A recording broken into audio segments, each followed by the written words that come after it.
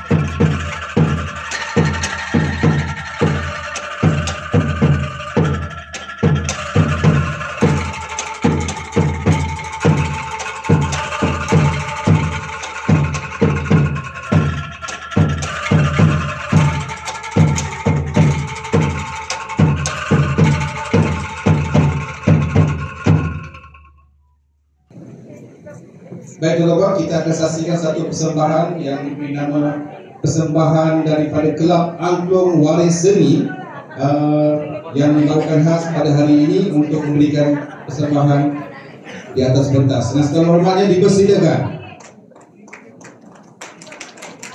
Dan sama-sama kita menunggu untuk makluman Kelab Angklung Warisan Waris Seni ini dikukuhkan pada 10 Oktober tahun 2011 di mana ia memainkan lagu-lagu evergreen, modern dan terkini yang terdiri dari berbagai genre sesuai dengan cita rasa para pendengar. Kelab ini mempunyai selama 50 orang ahli yang aktif pada tahun 2024. Dan pada hari ini, kelab ini telah membuat persembahan di peringkat antarabangsa yaitu di Malaysia International Children Choral Festival 2017 dan banyak lagi. Dan untuk itu kita bawakan khas dipersilakan persembahan daripada Kelab Wali Seni, dipersilakan.